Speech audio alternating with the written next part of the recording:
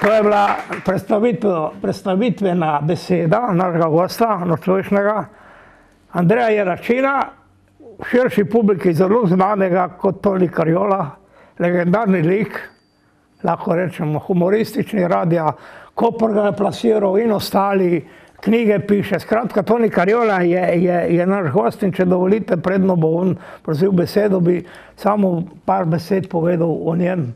Pravzaprav o njem bi se bi dalo dosti govoriti, ker je ko en roman je, ne, kaj vse bil, bil od, od veterinarskega, ne, tehnika v osnovni izobrazbi, da je doma se se nožeč, verjetno vemo, ker toliko poznamo stvari, ne, e, in da je potem delal razna dela, dokler na koncu bil je režiser v gledališču, bil je igralec v gledališču, bil je potem na koncu, bil je direktor podjetja, eh, filmskega podjetja v Kopru in tako dalje in na koncu je zaključil kariero, me se zdi, da je leta 90, kot je urednik, kulturni urednik na Radio Koper, kjer je potem tiskal tudi nekaj čas, ko je nastala ta knjiga načela nastaja ta knjiga oziroma te njegove stvari o Karjoli, čeprav je pisal že prej.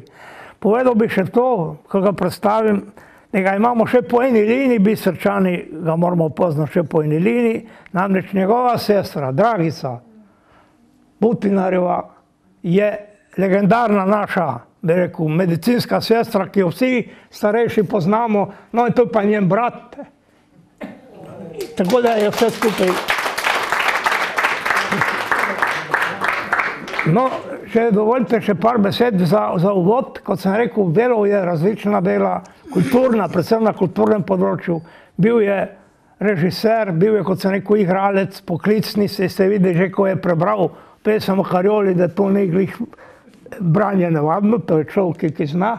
Potem moram povedati, če to, da jaz med dva se poznava že res dolgo let in zato sva na pi in bo govorila na pi, čeprav bi se bolj spodobilo, da mu rečem vi, ampak bi bilo malo čudno, če bi se zdaj vikala, ko se poznamo le vem, 30 let že. Ne.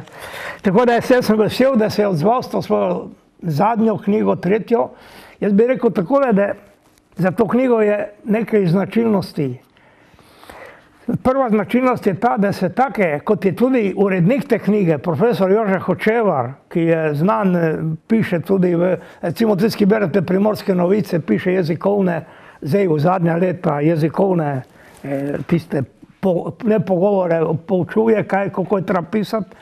On je rekel, da je v tej knjigi pravi, da je nenavadno, da je nenavadno, da, da se humoristične stvari delajo v taki veliki, v taki velikem obsegu. On pravi, take knjige so mogoče obsegajo, eh, obsegajo 50 strani ali 50 zgodb, tukaj je pa skoraj 300 strani, se reče, da to je knjiga, ki je nastajala po mojem mnenju dolgo časa. In zaradi tega bom predal Andreju, našemu prijatelju, besedo, da bo povedal, kako je ta knjiga nastajala, pa bomo se še malo pogovarjali, pa Ivan Šuštar, ki nas je razveselil s prvo pesmijo, bo zagodil še kakšno vmes in bomo, upam, preživeli en zanimiv večer. Andrej, izvoli in dobrodošel tudi v mojem imenu. Hvala, Tomo, hvala. E, danes sem srečal na Kopru e, Lučko Čok, to je bila rektorica univerze, v Kopru, ustanoviteljica univerze in te lepo pozdravlja in pravi, da sta bila odlična sodelovca in mora reči, da je zelo pohvalila. Se rekel, moram to prav povedati, e, tudi ti, Tomo, si nekakšna legenda, e, spoštovanja vreden novinar, si bil pošten. No, veliko si tudi poročal meni, ko so igrali moje komedije tam na, na reki, ne, spominjam, e, piknik s tvojo ženo, to je ena komedija moja, ki je bila igrana 300 in tolikrat tako naprej. No, skratka, ime Toni Kajola si se dal pa jaz kar sam. E, ker, zato si se dal neko ime, da je bolj tako ljudsko. Toni je, je primorsko ime, ne? Kajola tudi. Ne? Čeprav ob, primorci ob besedi Toni pomislijo, da je Toni Mona. Ne, ja, ja, da je tako, je prva mora taka, Ne? In če vozi karjolo še, je pa mora na kvadrat, ne? tako da mali humorja. Ampak to To je druga stvar. Kdo je za humor, je za humor. Mene včasih sprašujejo, kako nastaja humor, kako ti rata tebi nekaj, ne? Se ko vsak je za nekaj rojen. Eni so rojen za delati s pekonom, eni za se kregat, ne? eni za pit, eni za seksat, ne? E, eni za se pretepati, eni pa za humor. Tako je, vidite, ne? Ko drugi pomislijo druge stvari, jaz pomislim na humor. In tako rata tudi taka knjiga, ne? ker vedno imaš to iskrico, ko neki je željen skozi pomisli, na bi kaj popil. Ne, tako, tudi, jaz, tudi jaz sem željen, seveda, ne, čas, marsikdaj, ne. Tudi jaz pomislim, pa da bi kaj napisal, kaj povedal, ne. Tako rata tole, no. In tako so me primorci, recimo, jaz sem tudi ravnatelj študijske knjižnice, kar je zelo ugledna. Jaz sem tudi direktor gledališča bil, ne. končal sem akademijo gledališko pol, ne. ampak in si se dal ime Toni Karjola. To ljudem ni šlo v, v, v račun biti ravnatelj študijske knjižnice, pa biti Toni Karjola. To, to je tako, ni, ni, ni prav. Ni prav. Ampak, gledajte, če, če imaš rad humor, greš preko tega. Ne? Humor ni cenjen, ampak ga ljudje radi. Ljudje se radi smejijo, tudi slovenci, ampak ne sebi, drugim. To je značilnost eh, na, na slovencev. Ne? Mi se zelo radi smejimo, ampak, ampak ne na svoj račun. Ne? Imamo premalo tradicije. No, in ta knjiga je nastala, pravzaprav eh, prva knjiga je tista, eh, to knjigo tudi so dale Primorske novice, ker je posebna čast, ker ne izdajo one knjig kar tako, ne. Je pa res, da so knjige humorja zelo redke. Zelo redke so, ne. Eh, ker je, humor je podcenjen, ampak ga ni, veste, tako ne.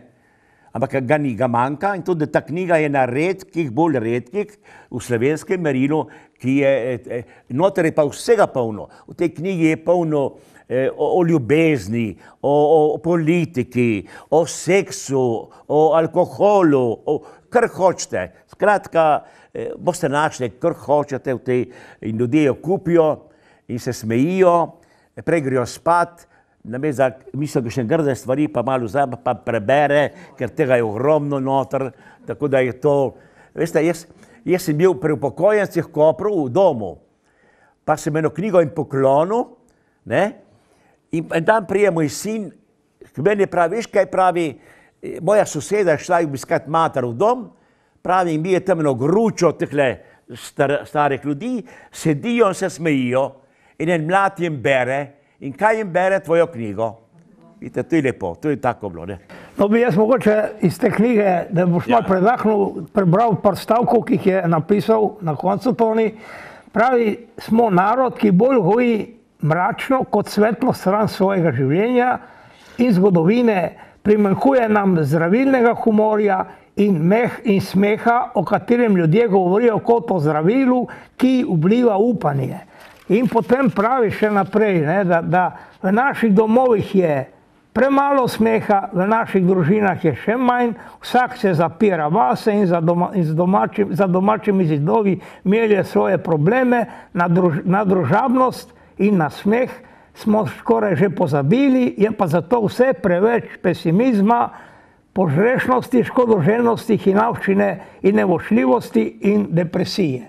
Torej, to je verjetno so bile tudi tvoje eh, vodila, da si se lotil in da je napisal tako obsežno, oziroma da sploh pišeš eh, hu, humoristične stvari. Torej, jaz bi rekel, da sem nekako glasnik majhnih ljudi, glasnik revežev. Tudi jaz sem zrasel bolj, tako sem bil deseti otrok. Ne? Sestra Dragica je bila prva, ampak prej že vse so umrli. Jaz sem se rodil deseti in ko sem se jaz rojeval, je Dragica, ki je bila točno deset let starejša od mene, isti dan, isti mesec, isti dan, veste, zanimivo. Je podila babico iz hiše, ki je prišla na porod, veste, zakaj je podila ven, ker je se bolj že preveč. Ja. Zdaj, včasih so rekli, otroci so naše bogatstvo. Ja, ja, ti je prav, ampak če tega bogatstva preveč, so pravi reveži. Veste, je to. Jaz sem bil priča, ko so otroci umirali, pa nihče ni jokal. Ko je pa krava krpala, so pa kličali pred njej, pa jokali cela družina. Veste, ti, ti napravlja se vera, kdo je veren, verjame v to in te otročke so šli v nebesa med angličke, ampak ker je pa glavno ena ustnica manj. To je bila ta modrost tistega obdobja, da so bile ena ustica manj in je šel ne? lepo v nebesa, med angličke in je bilo v redu. Ne? Ko je pa krava krepala, pa ni, ni zrasla, tako krava, ne, ker tako ne, ne. To je tako, ne, zanimivo. No, bi prvo povedal eno, eh, o, o politiki mora tole eno tako, konec, veste, ko je bila ta le osamosvojitev, ne, osamosvojitev je prinesla veliko dobrega in uničila tudi veliko dobrega ob enem, ne. Veste, to, ne. Jaz sem imel ob 80-letnici intervju z mano, imel novice, dve strani, pa je me vprašal, če pogrešamo kaj Tita. Nič ga ne pogrešamo, ne. Pogrešamo pa solidarnost, e malo več enakopravnosti. Veste, to, imali več enakosti, to pa pogrešamo, da bi bili. Ne?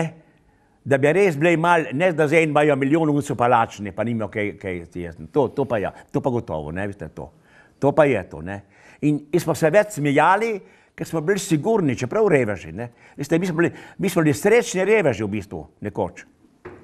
Ja, srečni reveži smo bili, ne. Ker si bil nekako siguren, lačen ne boš, nekako ne, stanovanje boš imel, in, in bo šlo. Delo tudi, ne, Vete, to je ta razlika, ki ne, zdaj eni jočijo za tem in za unim, ampak skratka ni pomembno. Ampak ker je pa politično glavno, najbolj politično korektna, najbolj uravnotežena je karjola.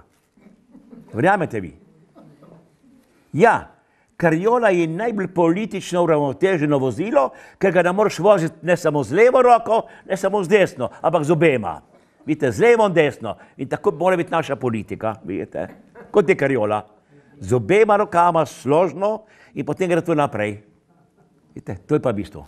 No, bi pa prebral tole, ko je bila osamosvojitev, seveda smo mi tiste ideale stare, oboževanje Tita, tako naprej, partizanov, je šlo vse v maloroblek, ne? In jaz sem nastopil enkrat, jaz sem se tu napisal po osamosvojitvi in sem enkrat nastopil na Kozini.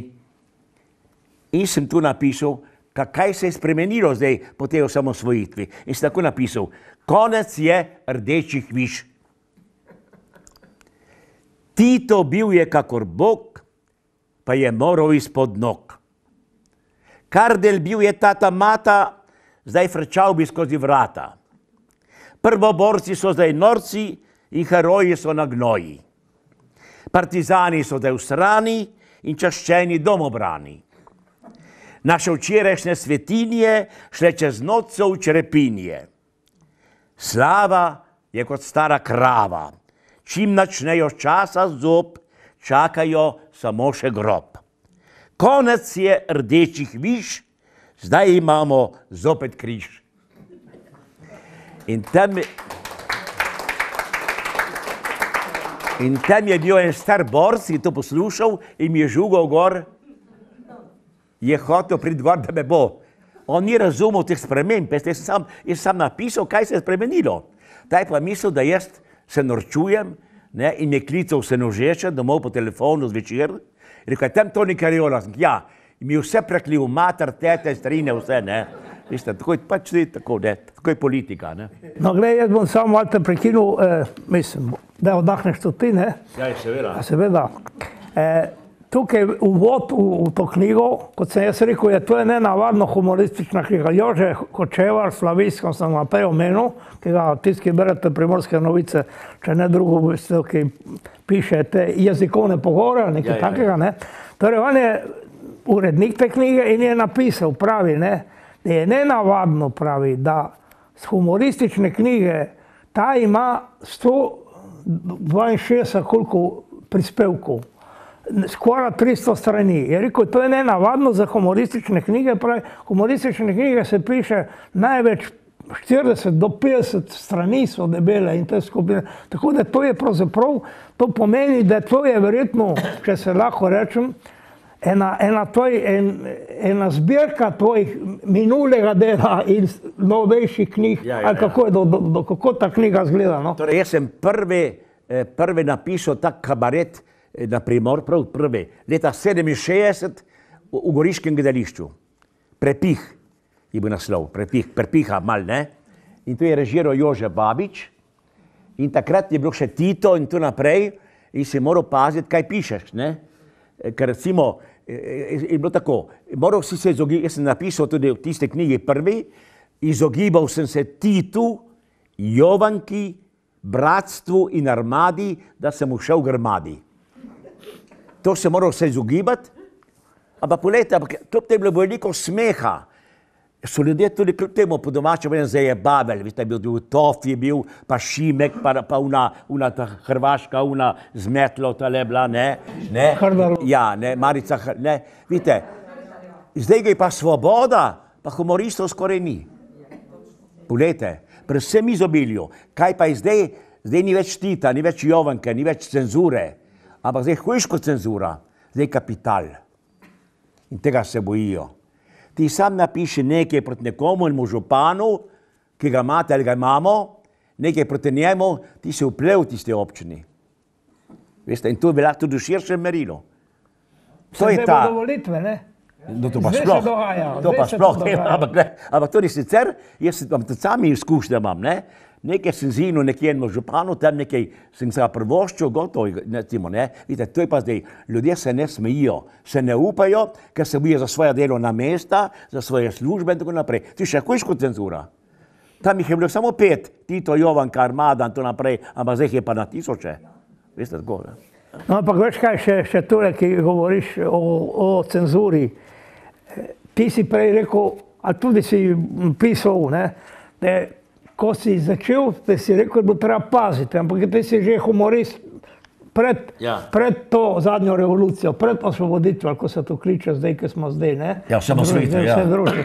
Torej, predtem si ti pisal, kako je bilo tole, si imel kakšne težave, ker recimo nekateri Ja. pravijo, da ste vsi humoristi, da ste mogli paziti, da ste mogli par dni v Koper banane ne birati, ne vem kaj. Ni bilo kaj takega. Ne. Veš, tako se je rekel ti. E, prvič, ko si pisal o socializmu, si imel žlajfe na svinčniku, brek, ne? Si moral paziti že prej, to, to je dejstvo. Nisi mogel kar tako lupati, ne? Ne? Si moral že paziti, ko si pisal. ko sem jaz pisal eh, ta kabaret prvi, davnega leta, takrat, ne, sem tudi pazil in so se mali tudi bali, kako bo reagirala oblast, kako bo to in uno tako naprej. Jaz, ko sem bil direktor gledališča, je, smo eno dramo prizorili Branka Hoffena, pisatelja.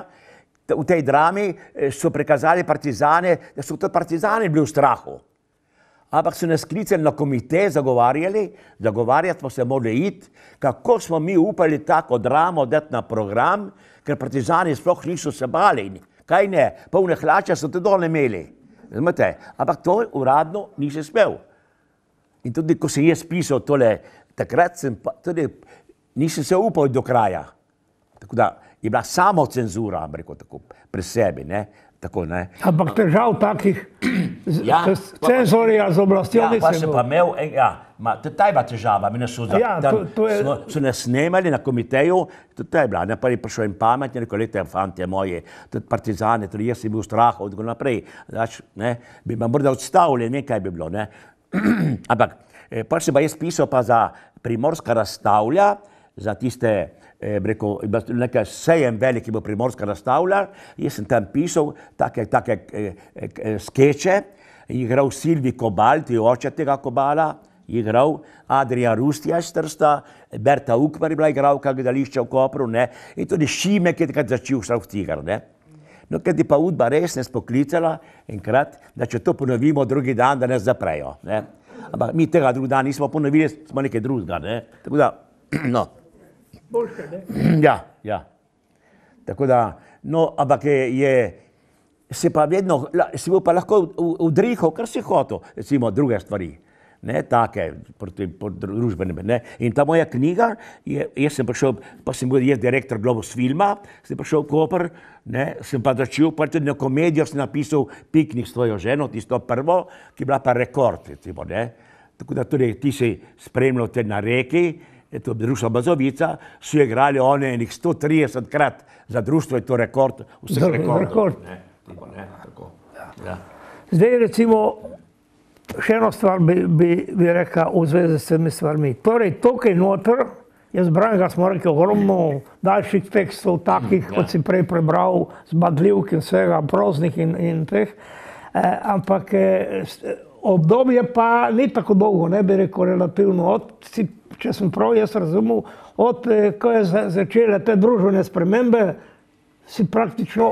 Ne, ti sem prej. Čas, ti Jaz si sem- prej pisal, v tej knjigi, mislim, kaj je zajeto. V te knjige so tudi ene, v glavnem to so bile take novejše, ne, ker sem za primorske novice pisal tudi, ne, Ja. sem imel rubriko stalno, ne, e, to radijsko Leopold na radiju, ne, jaz sem tudi na komedije napisal, Agencija za ločitve, recimo na komedija uspešna, je tudi dan nesrečni Gašper Tič igral pa žena, tu mojo komedijo, deset sezon v gledališču, tu, ne, pa sem pisal še eno pacijentu čakalnici, ki jo igrajo po Sloveniji, eno komedijo, tretjo, četrto, prej, ne, Ampak eh, ta humor sem pa eh, eh, bi- bil na radiju, sem pisal po samosvojitvi, eh, une pa prej, ampak je pa velik tega zdaj novega, ne, Timo, Timo bom prebral tole kratko. Kako je s temi čistkami? Vsaka prije stranka na oblast, počisti uno, ti dejstvo, če le upa. Bom prebral, kako je to. Čistka in higiena. Gospodje, to, kar počnemo mi, to niso čistke, to je le politična higiena. Saj od onih prejšnjih ne sme ostati sled nobena. Za demokracijo ni se bati, saj smo vendar demokrati. Poglejte, kjer so bili prej opice in pavi, so zdaj prišli ta pravi. In kjer so bili prej rdeči petelini, stare kure in kokošnjaki, krajujejo zdaj naši strankarski lisjaki. Pa smo tam spet, ne. Tako da to je, ne. In ko prijajo spet drugi, bojo spet drugi lisjaki in, in kokošnjaki in tako naprej. Dobro. Ja. Damo malo Ivanu, Dajmo Ivan. meh v roke, ne? No, preko sva se spoznala z Andrejem, jaz sem sicer pripravil eno druge pesmi, pravi, kaj znaš igrati v naši kantini, ima sem rekel, znam, tako znam nekako. znam. No, zdaj ta v naši kantini, tu je v glasbo Otavijo Brajko, tekst je pa moj, ne? Ja, sem jaz napisal tekst in rekel, ker sem že tukaj, pa ne moj tekst. Ne? Normalno, če je kantina. ne. Ja, seveda, ja, ja, ja,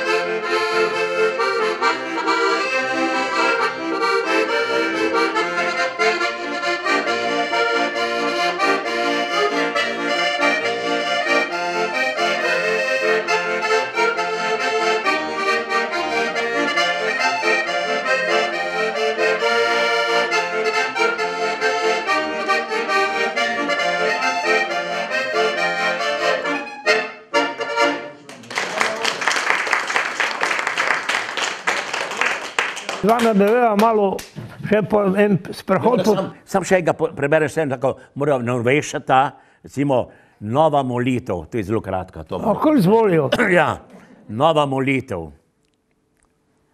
Sveti angel, varuh moj, socializem je odšel v pokoj. Stoj mi noč in dan ob strani in še pred temi zdaj me brani.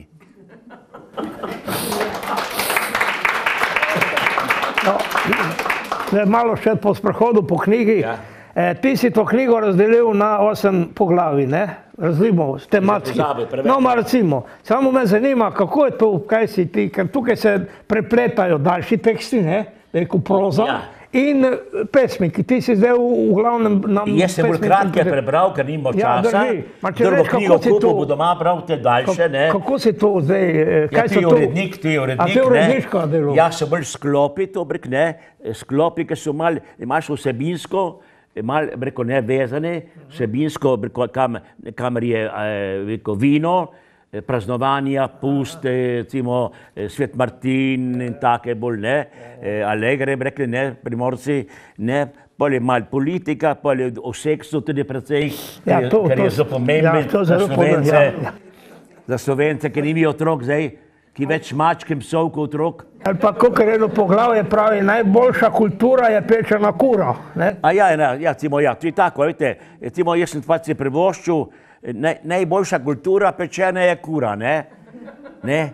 Ja, e, najboljši sonet, kaže, za siromako brodet, je taga, to, to je polno tega noter, kratke, ki so zabavne, ne? E, e, recimo, ma tega je ogromno, ne? ogromno je tega, boste doma brali, no, morda še eno tako, lete, v kučenu, vidite, kučena, Veste, dan mi je pravo, kako je kučen majhen. Jaz sem pa jaz napisal nekaj, jaz, jaz se prevoščam leve in desne, meni to ni važno, ne, ker to je bistvo biti pošten. Predsednik Kučan je povedal, ko je šel na vojaški nabor, mu je naborna komisija namirila celih 164 cm. Višine, ne, seveda, ne. Ker s to višino ne bi mogel postati jugoslovanski vojak, ga je komisija nategnila za en centimeter na 165. In tako je lahko postal vojak. Znano pa je, da za politike ni nobenih normalnih meril. Za politike. Najmanjši so lahko največji, najgrši najlepši, najneumnejši celo najpametnejši, seveda za tiste, ki jih volijo. Zanimivo pa je, da je Kučan povedal, za koliko centimetrov so nategnili njega. Ni pa povedal, za koliko je on nategnil druge. Tako je telo. Ja. Tukaj še eno stvar, še eno stvar moramo o, o, eh, knjigo spremlja zelo duhovite in zanimive karikature. Ja, ja. Oketične. Ja. To je, ti, mislim, kar praktično se, se sklapajo tudi z vsebino. Ja, ja, ker pesmi, ne. Ja. Karikature je napravil posebini, ta Ja, ja, ja, posebej. karikaturist. Pa, ne. mogoče nekaj besed o njem, ti z njim sodeluješ Ja, dolgo. je kako- en, en malo znan slikar, pri nas v bistvu malo znan. Ne? Jaz sem videl njegovo razstavo pred dvemi leti v, v Kopru, v Pretovski palači in sem rekel, ta pa dober karikaturist ali ne, se nek, ne. In pa zvem, da je doma izdan pri Sežani, pri, mas, pri nas je malo znan, ampak recimo na Japonskem razstavlja, v Turčiji vse, je pa zelo skromen mož, ne, in, in ne, ne zna prodret, veste to, ne. Zdaj pa, če, ni, če si pred skromen, te še žena ne opazi, kaj pa še le drugi. Ja, ja, ne, ne, tako da to je. Te karikature njegove ne, Ja. sledijo tvojim tekstom. To ja, nekaj, nekaj nametanga. On, ne. on, on je bil tekst, moj tekst in je napravi na karikaturo na tekst. Ne? Recimo, e, e, to recimo v začetku je, je ena karikatura, kako je nastala kariola. Recimo, ne? Ma boste videli doma, ne bom zdaj kazal, ker- ne boste vsi videli. Ampak to je, to je res je to, ne? je, je taka, bi rekel, je zanimiva. No? Ja.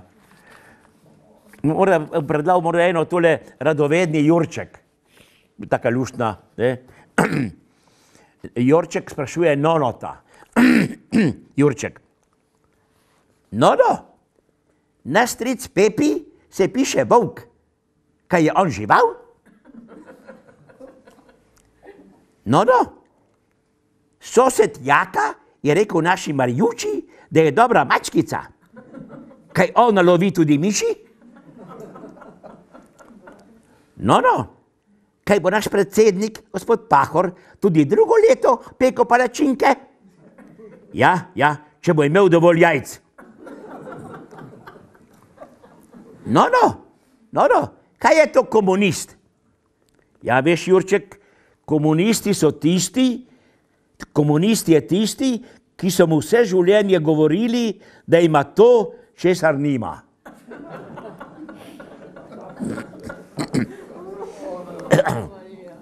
Jurček, no, no, zakaj gospod Čupnik nosi kiklo? Ja, veš, Jurček, gospod Čupnik nosi kiklo zato, da pridijo tudi moški rajši k maši.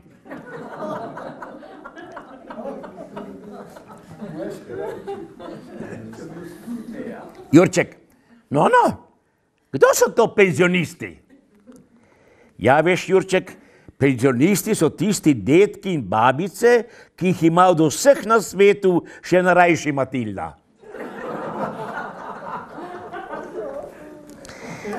Jurček, no, no, zakaj pravijo, da je Marija še devica? Ja, to pa vprašaj gospoda Župnika. No, no, zakaj sta bila v jaslicah vedno tudi oso in vol? Ja, veš, Jurček, zato, ker ima skoraj vsaka družina med svojimi sorodniki kakšnega osla ali vola. Jurček, no, no, je res, da tudi ministri kradejo?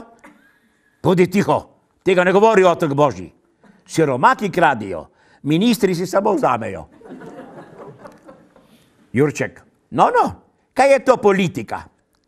A veš, Jurček, politika pa je napokvarjena gospa, ki ljudem obljublja vse mogoče, ali redkim kaj da. Pa je tebi dala? No, no, naša mama je rekla naši sosedi, da je prasica. Kaj bodo iz nje napravili klobase? Ja, veš, Jurček, vse prasice niso primerne za klobase. Jurček, no, no, zakaj letos v jaslicah ni bilo več osla? Ja, veš, zato, ker je bil izvoljen za poslanca. Ne, ja. ja. Evo. No, no, kaj so to davki? Ja, veš, davki, davki so pa ropanje ljudi, ropanje ljudi pri belem dnevu, brez pištole in maske na obrazu. Da.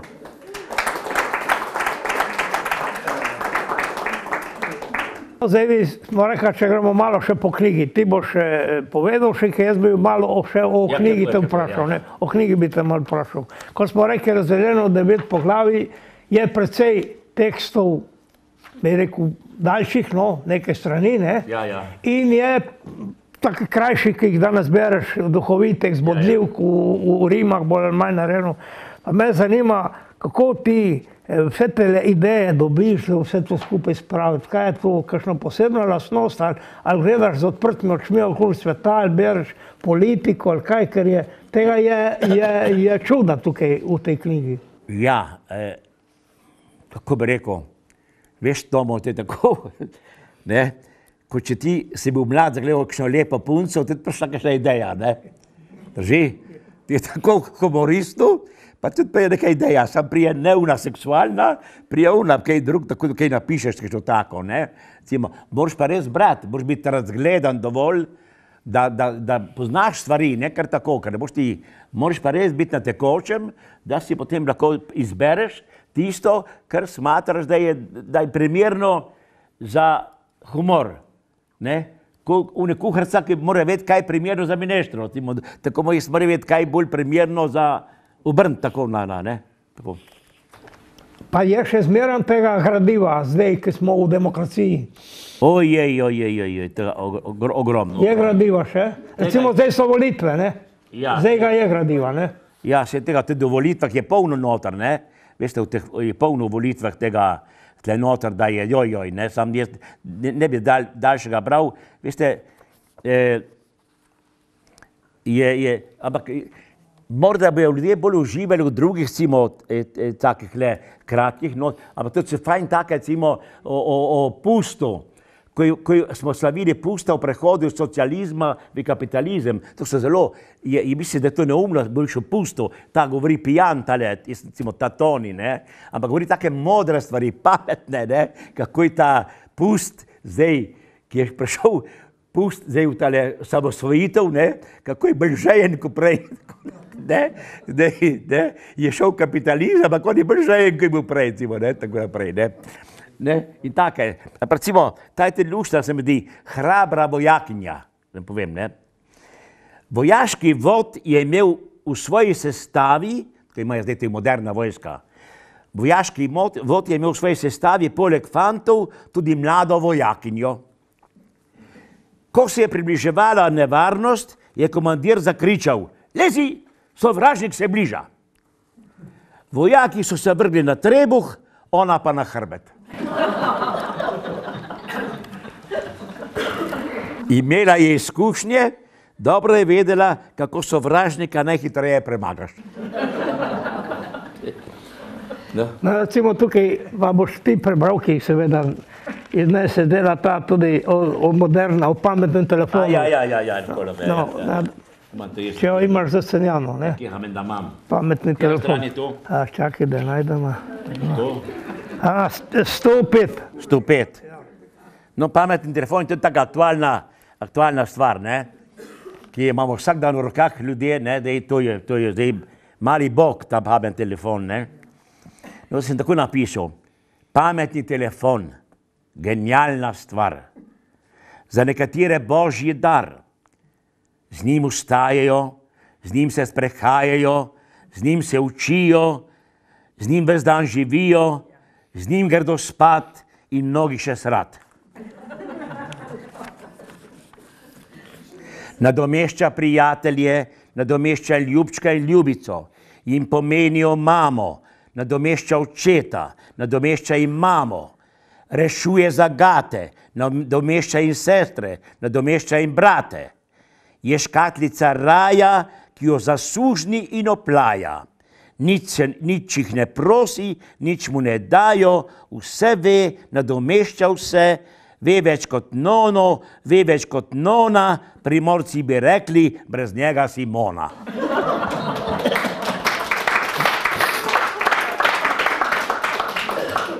No, recimo, eh, te daljši teksti so pa, seveda ne bomo izbrali, da nekdo Ne, ne, bo želel, to je seveda, ampak je kar precej teh tekstov. Kako Ja, ja. taki teksti nastajajo? Dobro, eh, to so ime, ne? to je duhovitost, ampak tudi ti Tudi teksti, kako, kako, polno- ja, vem, polno, ja. pa kako ti teksti kaj nastajajo, recimo, kje dobiš, eh, Ma v življenju, lej, ti dobiš, življenju, dobiš idejo v življenju. Lej. Ti moraš malo odprte oči da imaš smisel, imaš odprte oči in ti pade ideja. Ne? Viš, moraš malo razmišljati, malo, ne? vedno je pa to, ne nastane, ker kot pisanje ni lahka stvar. Jaz ne maram pisati. Rajše grem na nivo, imam na nivo gor, tam na Markovcu gor, ne, rajše grem delati čez zdaj tistem no, kopačico ali karkoli, ne. Raj, veste, to je pisanje. Frezo. Kaj? Brezo. Ma ni freza, to je malo bolj taka, manj, ne? ampak eh, pisanje ni lahka stvar, ker moraš porabiti možgane in se moraš koncentrirati, to ni kar tako, ne? ker ti moraš biti prav, če ti sploh boš pisal o Rimi, moraš kaj pametnega od sebe, ker eh, kla- klamfat znajo vsi, ne, take, ne? Ker ti moraš biti koncentriran, se res mobilizirati možgane, da nekaj napišeš. Ne? In če se jaz dam, bom nekaj napisal. Tudi danes, recimo, če bi se do, šel domov, pa bi razmišljal nekaj, o- pa bi nap, ampak eh, nimam tega, zdaj, trenutno imam možgane na paši, ne, recimo, ne delam, ampak tole, tako padijo ideje, recimo, pa recimo, tam, so, tam boste brali, no, knjiga stane 20 evrov, kar je malo ali pa veliko, kot vzame kdo, kot ima, no, ampak za to, to vrstno knjigo je to, eh, mislim, da je vredna najbrž, ne, eh, no, in, eh, in tako nastajajo te stvari, da, da je, je, je, je prijetna. No. Ljudje eh, dobijo veselje do življenja v tej knjigi. Ker ste tu pokojnici, ne, moram eno, eno prebrati tako, ki se mi zdi zelo pomembna zadeva. Ne. Kdor, posebno, kdor je sam. Ženitni in drugi oglasi za upokojence. Dobro poslušajte. Tako pravijo, da te oglase dajo. Ne? Tale piše tako: Pridi, draga, zate dal bi vse, kar imam, celo sončne žarke.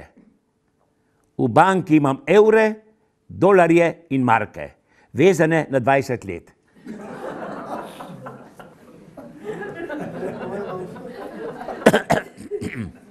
A veste, kdaj je, kdaj je moški za žensko zares star? A veste kdaj? Da je moški za žensko zares star, veste kdaj? ko mu zmanjka denarja. Ja. Ker unik ima sto let, pa polni denarja, nikoli niso prestari, vedno. Ne? Ja. Ta spet piše, ta piše takole, sem dobra stranka, kakor naša banka, a če nič ne vložiš, nič ne dobiš. Ta pa piše takole en, ne? Jaz bi dal življenje zate, če bi oprala mi vse gate. Ko se rodiš, si usran in ko si star, si spet usran, če ostaneš sam. Ena zdaj spet piše, dragi upokojenec, sem mlada, vroče krvi in telesa, pri meni boš kmalo videl nebesa.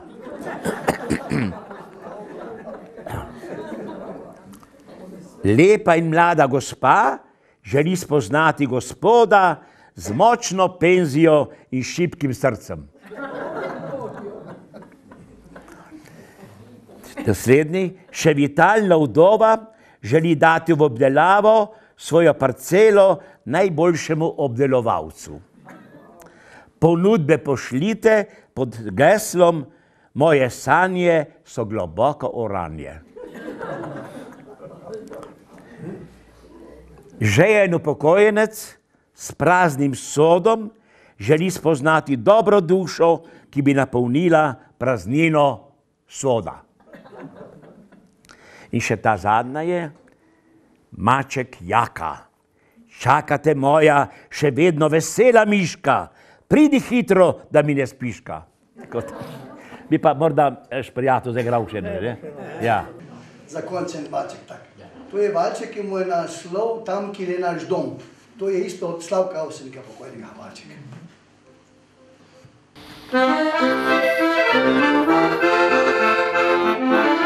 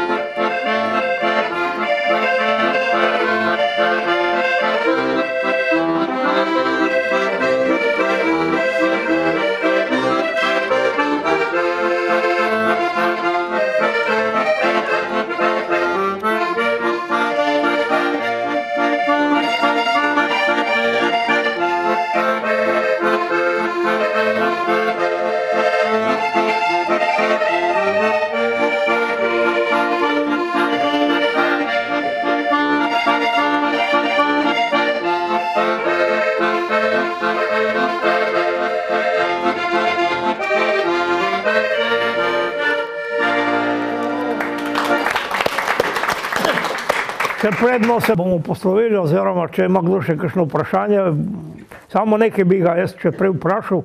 Ko sem jaz bral ta uvod, ne, sem rekel, "Ma to, eh, Andrej se je zmotil, ma ni ženska, ne. Pa sem videl pa na koncu, da je to napisala Karjola, ne. A ja, ja. Je podpisala Karjola, ne. Se reče, da je ta Karjola je ena inspiracija. Pa. Ma, je, tako je bilo, ne, Karjola, jaz sem se dal to ime, sem to nekaj tako nekaj ljudskega bo to, ne, za ljudi. In mene bolj poznajo, kot da sem Andrej Jelač, je bolj to ni Karjola, kam grem. Moram pa priznati, da res sem postal nekako eh, precej priljubljena figura. Eh, So me tudi izvolili za osebnost primorske, ne. No, lani sem postal častni občan občine tudi, ne, eh, tudi, recimo, Divače, ne? ja, ne, eh, divače, ne, Divače, ja. divače, no, tam imam pa neke druge zasluge, bolj kot Karjola, da sem bil pa pobudnik, da so postavili, smo postavili spomenik Danilu Zelenu, tudi vojaški vodja Tigra bil, ne, in pa spomenik prvemu Olimpicu, to je Rudolf Cvetko, prvi slovenec, ki je dobil olimpijsko kolajno, je bil doma senožeč. In vse to so moje ideje, ja, v Sablanju, ja, leta 1912. v Štokholmu in to so nekako moje ideje, prej niso tu vedeli nič ti ljudje, jaz sem pa veliko v Tigru snemal, tudi vaše območje, vaš Bobek in tako naprej, eh, vaše ljudje, Tigrovci so dosti pretrpeli, ogromno pretrpeli, ne. Eh, Danes ni vaša deklica tu, neka da pride celo na kaj Bernarda, kaj je neka. Ja. Ona vedno mojo pesem Tigrovcem je uglasbena, je neka, neka eh, himna Tigrovcev, tale pesem. Ne? Jaz sem se s temi Tigrovci precej ukvarjal in moram reči, da kapo dol, ker niso bili priznani pod eh, komunizmom, bili so res prvoborci. Jaz sem to spoznal, ko sem snemal leta 71 vdaje za Radio Koper o drugem tržaškem procesu. Tam je bil Pinko Tomažič, glavna zvezda, v Darkovaju. Ne? Ja, bi moral biti pa eh, Danilo Zeren, če bi ga dobili. Je bila razpisana nagrada na njegovo glavo, pa ga niso dobili Zelena. Danilo Zeren se nožečil, pa je bil vojaški vodja Tigra. Ne? Zelo je pomemben. In jaz, ko sem snemal te bivše tigrovce za radio, sem čutil, kako ga obožujejo, kako so mu zaupali temu zelenu. Ne? In to, in to trpljenje, to mučenje, ko so jih v, v, v vrelo vodo tunkali, ko so jim nohte z kleščami trgali z rok, ko so jih tiskali med torej gradu, ne? Eh, sem imel tako spoštovanje, da se ko moram napisati tem ljudem nekaj, sem napisal dve pesmi, danes, danes ni mora premjero, jih povem, jaz sem tudi, imam smisel tudi za resne stvari, ena, ena je glasbena, je v glasbo preširno nagrajenec profesor Jakob Ješ in jo izvajajo levi in desni povsod na teh proslavah, kar je res napisano srcem, pošteno do tigra. Ne. E, tigrovci res so bili zelo, rekel, zatirani, nepriznani, In ko smo v Senožečah, jaz sem dal že pred osamosvojitvijo, prej se ni smelo, idejo, nekaj mesecev prej za tole spominsko ploščo. In smo mi jo takoj prve mesece odkrili po osamosvojitvi, že junija meseca, ne, tam ti si bil. Ne, in je bil to velik praznik v bistvu za vse zamejske slovence, za vse rodoljube, ki so vedeli o tigru, pa niso smeli govoriti. To, potem si pa še zbral denar, sem zbral sam za spomenik Danilu Zerenu v. Ne, e, tako da je to, to tigrovcev je, mi je, mi je zelo, zelo pri srcu. To, to.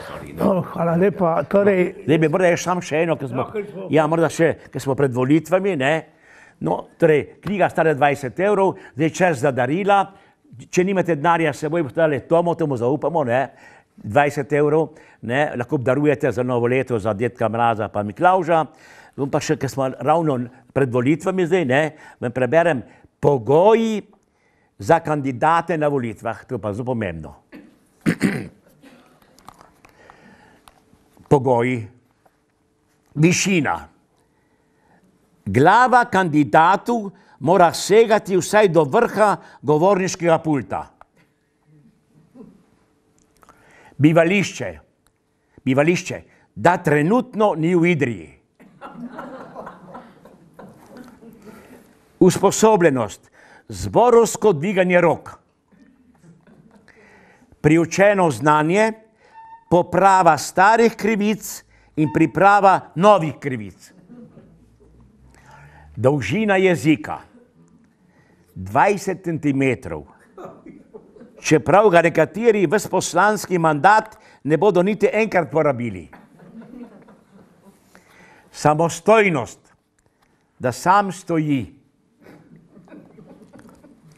prištevnost, znati mora prešteti vsaj svojo plačo. Telesne spretnosti. Sposoben mora biti prestopiti iz ene stranke v drugo. Vid zadostuje, da vidi gumb, s katerim bo glasoval. Sluh, prednosti imajo naglušni. Zdravstveno stanje. Gluh mora biti za zahteve delavcev in siromakov. Spolni organ, je pa važno. Spolni organ. Lulek mora biti vsaj tolikšen, da ga v temi sam najde v hlačah.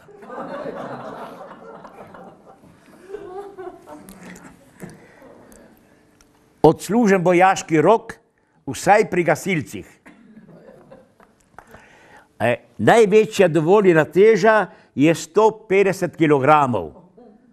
Če v parlamentu zaspi, da ga lahko brez prebujanja odnesijo skozi vrata. Zunanji videz. Na volilnih plakatih ne sme motiti mimo idočih psov in mačk. Izobrazba ni pomembna. Dobra plača je zagotovljena tudi za budale. Opomba, neodvisen je lahko le tisti kandidat, ki nič ne pije in nič ne je, a ga upa še srat. Predsednik razpisne komisije, profesor Jaka Gobezdalo.